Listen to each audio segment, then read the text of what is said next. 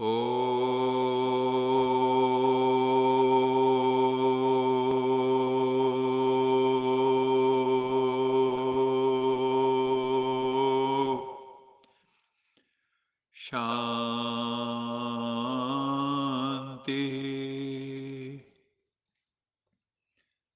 सत्यम शिवम सुंदरम सच्चित आनंद स्वरूप सत श्री अकाल मूर्त। परम पिता परमात्मा की परम प्रिय संतान। प्यारे भाइयों तथा बहनों, आज 19 दिसंबर 2021 दिन रविवार है। आज 13 दिसंबर 1989 की अव्यक्तवाणी रिवाइज हो रही है। आज विश्व रचता बाप। अपने विश्व की सर्व मनुष्य आत्माओं रूपी बच्चों को देख रहे हैं। सर्व आत्माओं में, अर्थात सर्व बच्चों में दो प्रकार के बच्चे हैं। एक हैं बाप को पहचानने वाले और दूसरे हैं पुकारने वाले। व परखने के प्रयत्न करने वाले। सर्व बच्चों में से पहचानने वाले व प्राप्त करने वाले बच्चे बहुत थोड़े। और पहचान करने के प्रयत्न करने वाले अनेक बच्चे। पहचानने वाले बच्चों के मस्तक पर श्रेष्ठ भाग्य की लकीर चमक रही है। सबसे श्रेष्ठ भाग्य की लकीर है। बाबा द्वारा दिव्य ब्राह्मण जन्म की। जो श्रेष्ठ ब्राह्मण जन्म हमें प्राप्त हुआ है।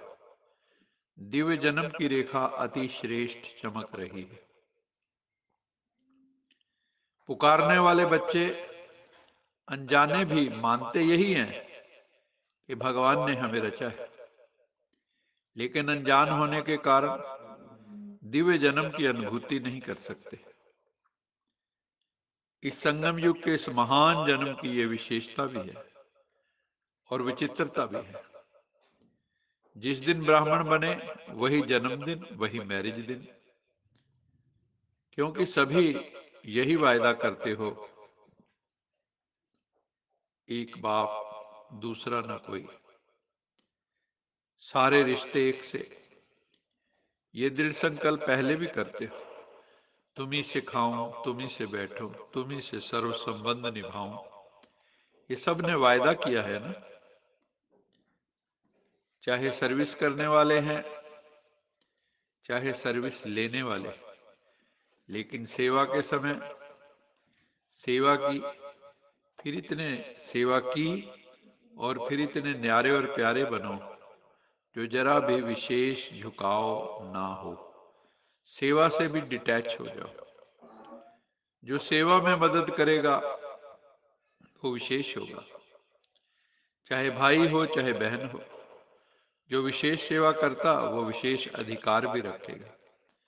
तो सेवा के साथी बनो, लेकिन अंडरलाइन साक्षी होकर के साथी बनो। हरेक बच्चे के मस्तक पर विशेष चार भाग्य की लकीरें चमकती बाबा ने देखी। पहली दिव्य जन्म की रेखा डिवाइन बर्थ दूसरी परमात्मा पालना की रेखा कि परमात्मा स्वयं हमारी पालना कर रहा है रूहानी पालना। फिर परमात्मा पढ़ाई की रेखा वो गॉडली टीचर बन के हमें पढ़ा रहा है एजुकेशन स्पिरिचुअल एजुकेशन सृष्टि के आदि मध्यंत का ज्ञान और चौथा निस्वार्थ सेवा की रेखा सेल्फलेस सर्विस सभी के मस्तक में चारों ही भाग्य की रेखाएँ चमक रही हैं। आदि से अब तक चारों ही रेखाएँ सदा यथार्थ रूप से चलती रहें, वो बहुत थोड़ों की है। बीच बीच में कोई ना कोई बात में भाग्य की लिखी या तो खंडित होती है या चमक कम होती है। चमक स्पष्ट नहीं होती। जैसे हस्तरेखाएँ भी देखते हैं। कोई की खंडित होती कोई की एक रस होती है। कोई की स्पष्ट होती कोई की स्पष्ट नहीं होती। और खंडित रेखा कभी भी अच्छी नहीं मानी जाती। अगर भाग्य की रेखा खंडित है तो यही कहते हैं कि भाग्य में व्यवधान ज़रूर आएगा। चाहे समर्पित हो टीचर्स बहनों की तरह, चाहे प्रवृत्ति में रहने वाले हो, लेकिन बाप के डायरेक्शन से चल रहे हो। प्रवृत्ति वाले क्या कहेंगे?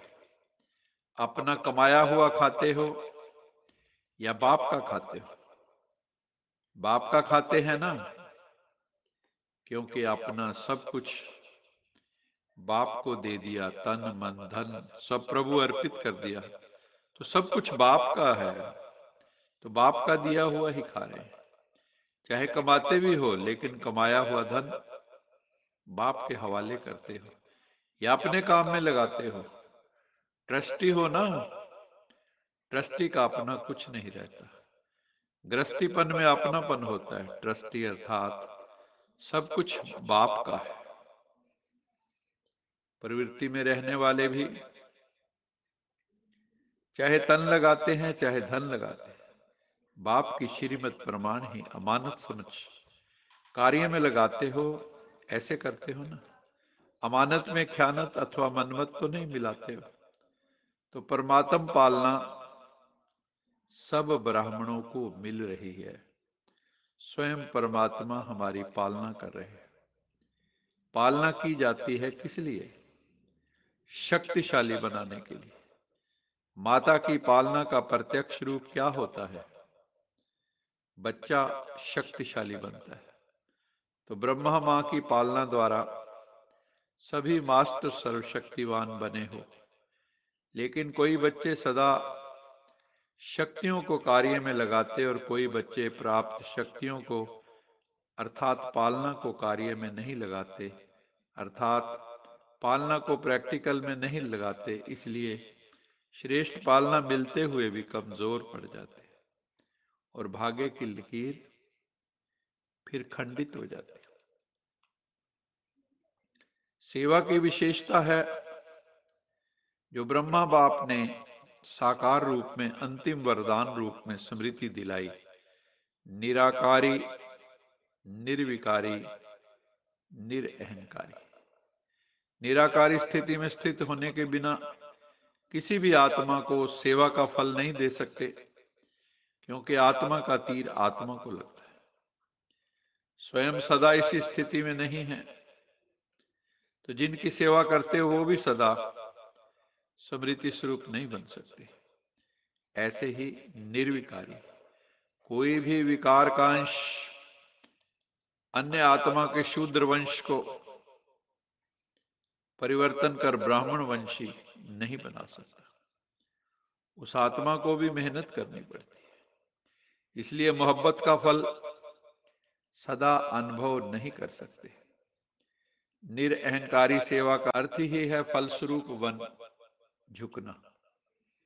बिना निर्माण बने, निर्माण अर्थात सेवा में सफलता नहीं मिल सकती। जब तक नम्रता नहीं होगी, निर्माणता नहीं होगी तो सेवा में सफलता नहीं मिल सकती।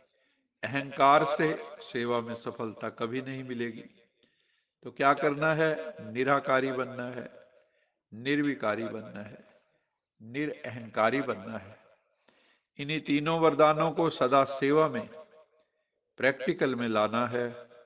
इसी को बाबा कहते हैं अखंड भाग्य की रेखा। जिनकी अखंड भाग्य की रेखा है वही अखंड सौभाग्यवती। लास्ट समय अगर अशरीरी बनने की बजाय निराकारी बनने की बजाय सेवा का भी संकल्प चला तो सेकंड के पेपर में फेल हो जाएँगे। उस समय सिवाय बाबा के, निराकारी, निर्विकारी, निरहंकारी और कुछ याद नहीं, आना चाहिए। ब्रह्मा बाप ने अंतिम स्टेज यही बनाई थी, बिल्कुल निराकारी। जो निराकारी है वो निर्विकारी, निर्विकल्प निरहंकारी तो स्वतः ही हो जाता है।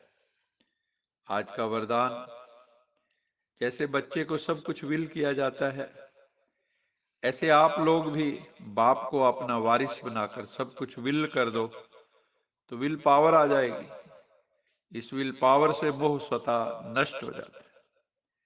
जैसे साकार बाप ने पूरा ही अपने को विल किया, वैसे आप लोगों की जो स्मृति है, समय और संकल्पों का खजाना है। उसे विल करो, अर्थात श्रीमत प्रमाण। सेवाओं में लगाओ। तो क्या होगा? मोह जीत बन जाएँगे, मोह को जीत जाएँगे। बंधन मुक्त बन जाएँगे, सारे बंधन कट जाएँगे, मोह की रस्सियाँ कट जाएँगे। आज का स्लोगन है, एक दो का स्नेही बनने के लिए। कौन से दो गुण धारण करने हैं? आपस में स्नेही बनने के लिए, सर्व के स्नेही बनने के लिए। कौन से दो गुण धारण करने हैं? पहली चीज़ है सरलता सिंप्लिसिटी स्टेट फॉरवर्डनेस और सहनशीलता। टॉलरेंस ये गुण धारण करो। तो इस तभी हमारे भीतर सच्चा प्यार आपस में डेवलप होगा। सरलता और सहनशीलता। तो हम एक दूसरे के स्नेही बन जाएँगे। इन्हीं शब्दों के साथ मीठे मीठे सिकिलद बच्चों प्रति मात पिता बाप दादा का याद प्यार, गुड मॉर्निंग, रूहानी बाप की रूहानी बच्चों को नमस्ते, हम रूहानी बच्चों की रूहानी मात पिता बाप दादा को याद प्यार, गुड मॉर्निंग और नमस्ते। सदा रहो, हँसते। कहीं नहीं फंसते। बन जाओ फरिश्ते। बाँध लो अपने बसते। चलो प्रभु के रस्ते। वाहिगुरु जी का खालसा, वाहिगुरु जी की फतेह। बोल साचे दरबार की जय। लोका समस्ता सुखिनो भवन्तु। लोका समस्ता सुखिनो भवन्तु। लोका समस्ता सुखिनो भवन्तु।